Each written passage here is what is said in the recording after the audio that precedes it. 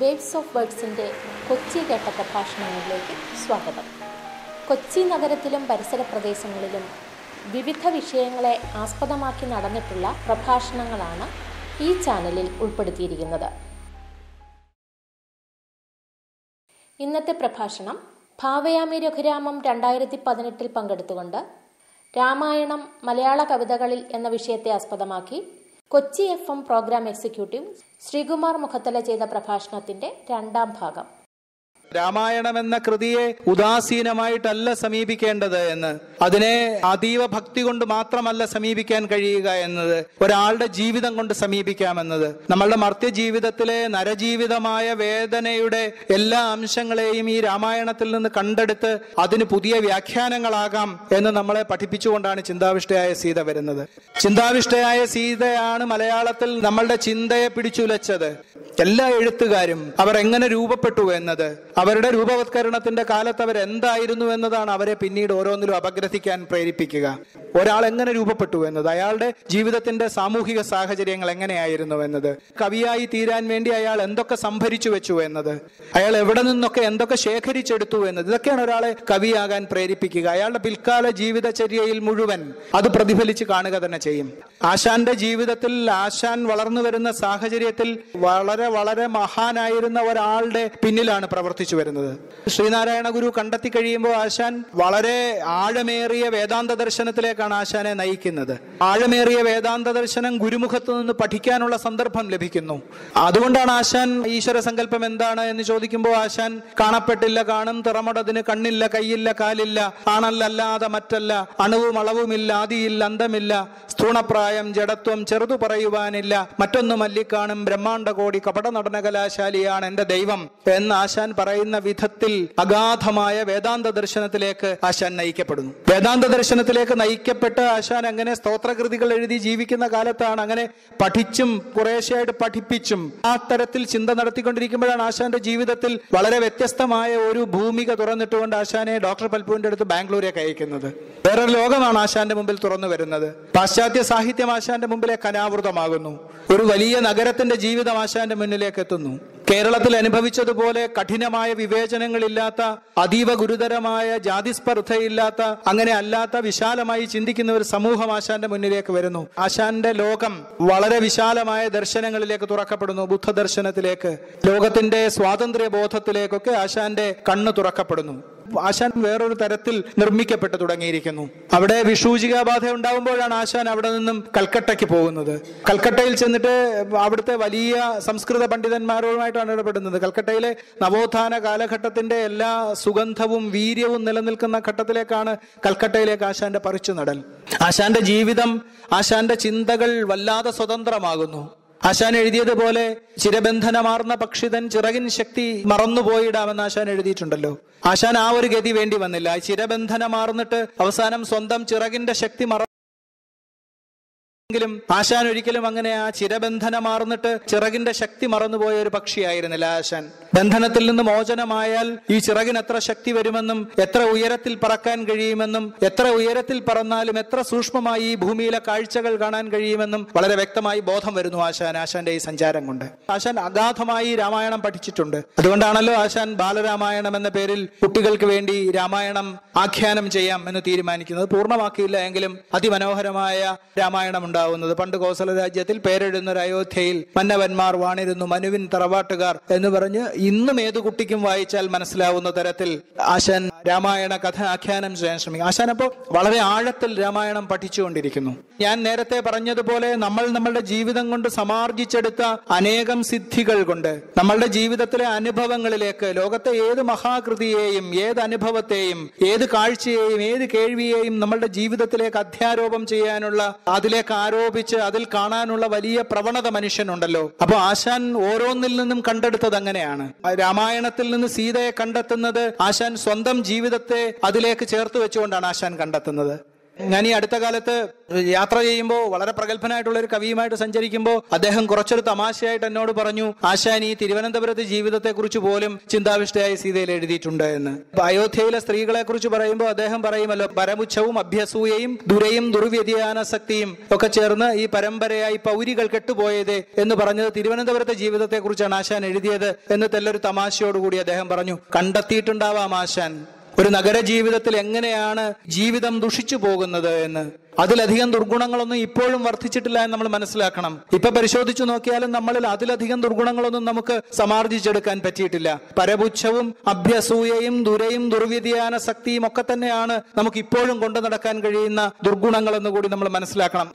ചിന്താവിഷ്ടയായ സീത എന്ന് പറയുന്ന കൃതി ആശാന്റെ കാവ്യ ജീവിതത്തിലെ ആശാന്റെ കൃതികളുടെ ഒട്ടുമിക്ക ഗുണങ്ങളും ആ കൃതിയിൽ അടങ്ങിയിരിക്കുന്നു എന്ന് നമുക്കറിയാം. ആശാൻ അനുഭവിച്ചു പോന്ന ആത്മസംഘർഷത്തിനുള്ള പരിഹാരം തേടി ആശാൻ സ്വയം നടത്തിയ ചികിത്സയാണ് ചിന്താവിഷ്ടയായ സീത എന്ന് വേണമെങ്കിൽ നമുക്ക് പറയാം. ചിന്താവിഷ്ടയായ സീത എല്ലാവരുടെയും ഔഷധമാവുന്നു അതുകൊണ്ടാണ്. ഏത് ഭീകരമായിട്ടുള്ള മഹാവിപത്തിലും ഇടർ തീർപ്പതിന് ഏകഹേതുവന്നിടയാം ഏത് മഹാവിപത്തിലും എന്ന് പറയാൻ കഴിയുന്നത് കൊണ്ടാണ്. സ്ഫുടതാരകൾ കൂരിരുട്ടിലുണ്ട് ഇടയിൽ ദ്വീപുകളുണ്ട് സിന്ധുവിൽ. ഇടർ തീർപ്പതിന് ഏകഹേതുവന്നിടയാം ഏത് മഹാവിപത്തിലും എന്ന് ആശാൻ സ്വയം സമാശ്വസിക്കുന്നത് അതുകൊണ്ടാണ്. ചിന്താവിഷ്ടയായ സീത ഇങ്ങനെ വായിച്ചു നോക്കുമ്പോൾ അതിൽ നമ്മളുടെ പരിഹാരം കാണാൻ കഴിയാത്ത സകല പ്രശ്നങ്ങളുടെയും പരിഹാരം ആശാൻ ഉൾച്ചേർത്ത് വെക്കുന്നത് അതുകൊണ്ടാണ്. രാമായണത്തിൽ നിന്ന് ആശാൻ കണ്ടെടുക്കുന്ന സീത നിരന്തരമായി നമ്മളുടെ രാമവിമർശനത്തിന് അതിനു മുമ്പ് ഉണ്ടായിട്ടുണ്ടാവാം. എങ്കിലും നമ്മളുടെ രാമനെ കുറിച്ചുള്ള വിമർശനത്തിന് സാമാന്യമായ വിധത്തിൽ ഉദ്ഘാടനം ചെയ്തത് കുമാരനാശാനാണെന്ന് പറയാവുന്ന വിധത്തിൽ വളരെ തീവ്രമായ ശ്രീരാമ വിമർശനം നടത്തിക്കൊണ്ടാണ് സീത എന്ന കഥാപാത്രം നിൽക്കുന്നത്. രാമനെ വിമർശിക്കാമെന്ന് തീരുമാനിച്ചിറങ്ങിയിട്ട് നടത്തുന്ന വിമർശനമല്ല. സ്വന്തം ജീവിതത്തിന്റെ അടിസ്ഥാനത്തിൽ അനുഭവങ്ങളുടെ അടിസ്ഥാനത്തിൽ താൻ കടന്നു പോകുന്ന ജീവിത പ്രതിസന്ധികളുടെ മുന്നിൽ നിർത്തിക്കൊണ്ട് എന്തായിരുന്നു എന്റെ ജീവിതത്തിലെ ശ്രീരാമൻ എന്നാണ് സീത പറയാൻ ശ്രമിക്കുന്നത്. അതിനൊരു സാർവലൗകികമായ വിചാരണയുടെ സ്വഭാവം വരുന്നത് നമ്മളിൽ എല്ലാവരിലും അങ്ങനെ ഒരു സീത കുടികൊള്ളുന്നത് കൊണ്ടാണ്. നമ്മളിൽ എല്ലാവരിലും തിരസ്കൃതയായ ഒരു സീത കുടികൊള്ളുന്നു. നമ്മളിൽ എല്ലാവരിലും അവഗണിക്കപ്പെടുന്ന ഒരു സീത കുടികൊള്ളുന്നു.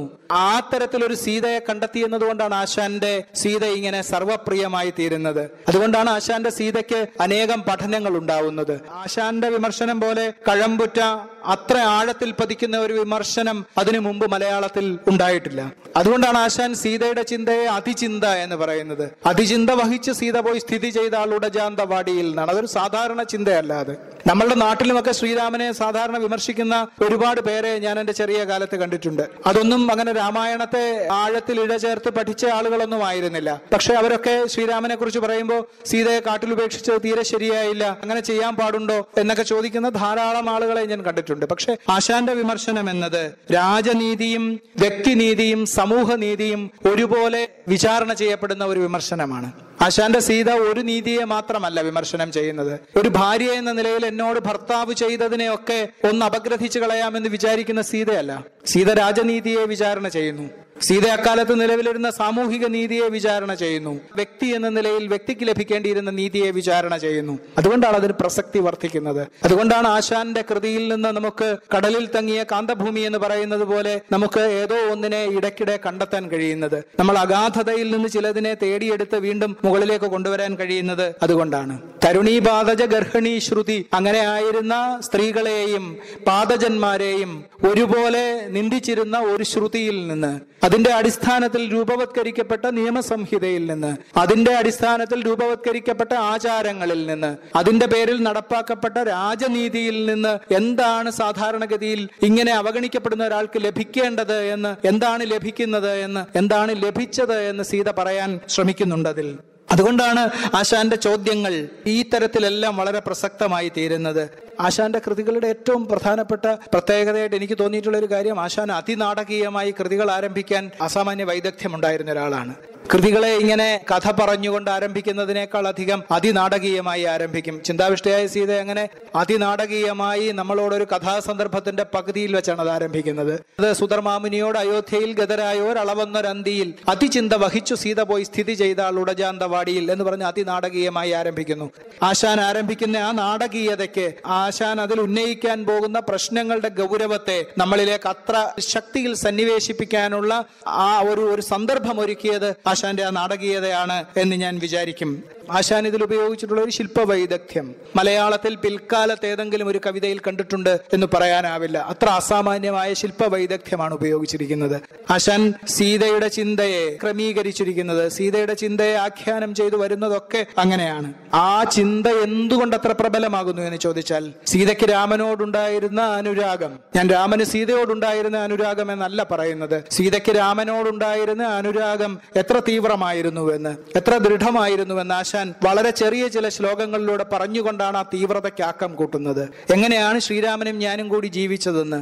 ബുദ്ധിയിൽ കുറവില്ലാത്ത മൃഗങ്ങളെ പോലെ ചിറകില്ലാത്ത ഖഗങ്ങൾ പോലെ ഇരുമെയ്യാർന്ന് ഒരു ജീവി പോലവേ ഞങ്ങൾ ഇരുമെയ്യാർന്ന് ഒരു ജീവി പോലവേ ജീവിച്ചു. എന്ന് സീതരാമനെ കുറിച്ച് പറയുന്നത് കൊണ്ടാണ് പിന്നീട് നടത്തുന്ന ഓരോ പ്രധാനപ്പെട്ട ചോദ്യങ്ങൾക്കും നമ്മൾ വിചാരിക്കാത്ത ആഘാതശേഷി ഉണ്ടാവുന്നത്. ഈ അസാമാന്യമായ പ്രണയത്തെ അതിലേക്ക് സന്നിവേശിപ്പിക്കുന്നത് കൊണ്ടാണ്. ആശാന്റെ നായികമാരെല്ലാം ഈ തരത്തിൽ അതിഗാഠമായി പ്രണയിച്ചിരുന്നവരാണ് എന്നുകൂടി നമുക്കിതിന്റെ കൂടെ ഓർക്കേണ്ടതുണ്ട്. ഈ തരത്തിൽ ആശാന്റെ കൃതി നമ്മളുടെ മുന്നിൽ അങ്ങനെ വളരെ പ്രസക്തമായി നിലനിൽക്കുന്നു. ഇതേക്കുറിച്ച് പറയുമ്പോൾ ആശാന്റെ സീത വെറുമൊരു സ്ത്രീയല്ല എന്നും അത് കാലത്തെ കടന്നു നിൽക്കുന്ന സ്ത്രീയായി നിൽക്കുന്നുവെന്നും ആശാൻ രാമായണത്തെ രാമനെ ഇങ്ങനെയാണ് കണ്ടുപോയത് എന്നും പറഞ്ഞ് എനിക്ക് ഇനിയും അനേകം കാര്യങ്ങൾ അതേക്കുറിച്ച് പറയാൻ തോന്നുന്നുവെങ്കിലും മനസ്സില്ല മനസ്സോടെ ഞാൻ ഈ ചിന്താവിഷ്ടയായ സീതയെ ഇവിടെ വിട്ടിട്ട് വള്ളത്തോളിലേക്ക് പ്രവേശിക്കാൻ നിർബന്ധിതനാവുന്നു. ചിന്താവിഷ്ടയായ സീതയെക്കുറിച്ച് മാത്രം നമുക്ക് കുറേയേറെ സംസാരിക്കാനുള്ള വിധത്തിൽ ആശാൻ അതിൽ കാര്യങ്ങളെ ചേർത്ത് വെച്ചിട്ടുണ്ട്. നമുക്ക് കുറച്ചുകൂടി ഇങ്ങോട്ട് വരുമ്പോൾ ഇടശ്ശേരിയുടെ കവിതകളിലൂടെ സഞ്ചരിച്ചാൽ അദ്ദേഹത്തിന്റെ ആദ്യകാല കവിതകളിലൊന്നായ ലവണാസുരവധത്തിലെ ഹനുമാൻ എന്ന കവിതയിൽ രാമായണത്തെക്കുറിച്ച് പരാമർശമുണ്ട്. അത് ആട്ടക്കഥ കണ്ടതിന്റെ അനുഭവത്തിൽ നിന്നാണ് അദ്ദേഹം ആ കവിത എഴുതിയിരിക്കുന്നത്. അശ്വമേധത്തിന് കുതിരയെ അഴിച്ചുവിട്ടതിന് ശേഷം ലവകുശന്മാർ അശ്വബന്ധനം നടത്തിയിട്ട് അത് അഴിക്കാൻ ഹനുമാൻ എത്തുന്നതാണ് സന്ദർഭം. ആ സമയത്ത് അദ്ദേഹം ഹനുമാന്റെ ഭാഗത്ത് നിന്നിട്ടാണ് അതിനെ കാണുന്നത്. ഹനുമാൻ ശ്രീരാമനുമായി താതാത്മ്യം പ്രാപിച്ച ആളാണ്. അതുകൊണ്ട് അദ്ദേഹം പറയുന്നു ശ്യാമളം വനം രാമചന്ദ്രന്റെ കോമള തനു തന്നെയോ? എന്ന് ചോദിക്കുന്നു. ഈ വനം തന്നെ ശ്രീരാമന്റെ ശരീരമായിരിക്കുന്നു എന്ന് പറഞ്ഞാണ് അത് ആരംഭിക്കുക. അതിൽ ഇടശ്ശേരിയുടെ ദുഃഖം എന്ന് പറയാവുന്നത് അഥവാ ഹനുമാന്റെ ദുഃഖം എന്ന് പറയാവുന്നത് ഈ കുട്ടികൾ ലവകുശന്മാർ രാമനെ കുറിച്ച് കേട്ടിരിക്കുന്നത് എന്തൊക്കെയാണ് എന്ന് പറയുന്നിടത്താണ്. അദ്ദേഹം പറയുന്നു രാമന സദാ രാമനെ പുണ്യസോമനെ കേട്ടിട്ടുണ്ടവർ. ഭർഗചാപ പ്രഭേദി എന്നല്ല ഭാർഗവ ജേതാവെന്നല്ല. മാർഗണ ലീലാ മാത്രത്തിൽ രക്ഷോ മാർഗം വെന്നവൻ എന്നല്ല രാവണാന്തകൻ എന്നല്ല സാധു സേവന വ്രതൻ എന്നല്ല. ഇതൊന്നുമല്ല ഈ കുട്ടികൾ അദ്ദേഹത്തെ കുറിച്ച് കേട്ടിരിക്കുന്നത്. ഇതൊക്കെയാണ് അദ്ദേഹത്തെ കുറിച്ച് കേൾക്കേണ്ട കീർത്തികൾ. പക്ഷെ ഇതൊന്നുമല്ല കേട്ടിരിക്കുന്നത്. പെൺകൊല ചെയ്ത പാപി എന്നത്രേ. കുട്ടികൾ അദ്ദേഹത്തെ കുറിച്ച് കേട്ടിരിക്കുന്നത് പെൺകൊല ചെയ്ത പാപി എന്നത്രേ. പൊന്മാൻ തേടിയ പൊണ്ണനും. ഒരു പൊന്മാനിനെ കണ്ടപ്പോ ഭാര്യ പറഞ്ഞത് കേട്ടിട്ട് പോയ ഒരു പൊണ്ണനാണ് ഇയാൾ എന്ന്. പെണ്ണിനെ കൊന്ന ഘാതകനാണ് എന്ന്. വാനരത്തെ ഒളിവേട്ടയാടും കാനനചാരി എന്നുമാം ബാലിയെ കൊന്നുകളഞ്ഞ ഒളിച്ചു നിന്ന് കൊന്നുകളഞ്ഞ ഒളിവേട്ടക്കാരനാണ് എന്നൊക്കെയാണ് ഈ കുട്ടികൾ കേട്ടിരിക്കുന്നത്. ഹനുമാൻ പറയുന്നു ശാന്തം പാപം. ഈ ഭ്രാന്തന്മാരിനി എന്തു തന്നെ പറഞ്ഞേക്കാം? ഇത്ര കൊണ്ട് തന്നെ എനിക്ക് മതിയായിരിക്കുന്നു. ഈ പാപം ശാന്തമാകട്ടെ. ഇനി ഈ ഭ്രാന്തന്മാർ എന്തൊക്കെയാണാവോ ശ്രീരാമനെ കുറിച്ച് പറയുക എന്ന് പറഞ്ഞുകൊണ്ടാണ് പോവുക. ഇതിലെ ഈ രാമവിമർശനത്തെ നമ്മൾ കാണാതെ പോയിട്ട് കാര്യമില്ല. ഇതേ കവിതയിൽ വളരെ ശ്രദ്ധേയമായിട്ട് ഒരു ഭാഗം കൂടി ഇടശ്ശേരി പറയുന്നുണ്ട്. കൊല്ലട്ടെ അമ്പതു രാവണരെ വെല്ലട്ടെ ദിക്കൊരു വീക്ഷണത്താൽ ചെയ്യട്ടെ നൂറ് നൂറ് അശ്വമേധം. ഈ ഓമൽ കൊച്ചുകുമാരന്മാരെ മെയ്യോട് ചേർക്കാത്തൊരാളെ ആർക്കും വയ്യൊരു ഭാഗ്യവാൻ എന്നുരപ്പാൻ. ഇക്കുളിർ ചാറു തട്ടി ചേർക്കുന്നു ചെങ്കനൽ മേനിയിങ്കൽ. മർമ്മം പിളർത്താലും ആത്മധർമ്മ കർമ്മപഥ ഭ്രംശഭീതൻ നാഥൻ. ഹനുമാൻ പറയുന്നു എന്റെ ഈ നാഥൻ ഈ കുഞ്ഞുങ്ങളെ മാറോട് ചേർക്കാത്തയാളെന്ന നിലയിൽ എത്ര രാവണനെ കൊന്നു എന്ന് പറഞ്ഞാലും എത്ര ലങ്ക നേടി എന്ന് പറഞ്ഞാലും എനിക്ക് സമ്മതിക്കാൻ നിർവാഹമില്ല. അദ്ദേഹം കർമ്മപഥത്തിൽ നിന്ന് ഭ്രംശം വരുമോ എന്ന് ഭയക്കുന്ന ആളായതുകൊണ്ടാണ് അത് സംഭവിക്കുന്നത് എന്ന ഒരു വിമർശനം അവിടെ ഉന്നയിക്കുന്നുണ്ട് ഇടശ്ശേരി രാമായണത്തിന്റെ അടിസ്ഥാനത്തിൽ. ഈ വാത്സല്യം നൽകി സ്നേഹം തിരിച്ചു വാങ്ങാൻ കഴിയാത്ത ഒരു പിതാവാണ് എന്ന വലിയ ദുഃഖമുണ്ടാവുന്നത്. അദ്ദേഹത്തിന് കർമ്മപഥത്തിൽ നിന്ന് വ്യതിചലിച്ചു പോകുമോ എന്ന ഭയം നിരന്തരമായിട്ടുള്ളത് കൊണ്ടാണ് എന്ന് പറഞ്ഞുകൊണ്ടാണ് പോവുക. പക്ഷേ ഇതുകൊണ്ട് ഹനുമാൻ വല്ലാതെ പശ്ചാത്താപ വിവശനാവുന്നുണ്ട് ഈ കഥയിൽ. അദ്ദേഹം പശ്ചാത്താപ വിവശനാകുന്നത് ഇങ്ങനെ ഹാ ഹതമൻ ജിഹ്വാ ഖഡ്ഗമേ നീ ആപതിക്കുന്നു വ്രണത്തിൽ വീണ്ടും സാന്ത്വനമല്ലിപ്പോൾ ചെയ്തു ഞാൻ തൽ സ്വാന്ത നിർഭേദനമായിരുന്നു ഞാൻ എന്നെ തന്നെ പിളർക്കുന്നത് പോലെയാണ് ഞാൻ ഈ രാമോപാലംഭം എന്ന് പറയാവുന്ന രാമവിമർശനത്തെ ഞാൻ കണ്ടത് എന്ന് പറയുന്നു. ഹനുമൽ സേവ തുഞ്ചൻ പറമ്പിൽ എന്ന കൃതിയുണ്ട്. അതിനെ രാമായണത്തെ അടിസ്ഥാനമാക്കി നമുക്ക് പറയാമെങ്കിലും അതിലങ്ങനെ വളരെ ഗാഠമായ ഒരു പരാമർശം അതേക്കുറിച്ച് അങ്ങനെ പറയുന്നില്ല. ഞാൻ കാണുന്ന വളരെ പ്രധാനപ്പെട്ട മറ്റൊരു കൃതി ബാലാമണി അമ്മയുടെ വിഭീഷണൻ എന്ന് പറയുന്ന കവിതയാണ്. തുടർന്നുള്ള ഭാഗങ്ങൾ ഇതിനോടൊപ്പം അപ്ലോഡ് ചെയ്തിട്ടുണ്ട്.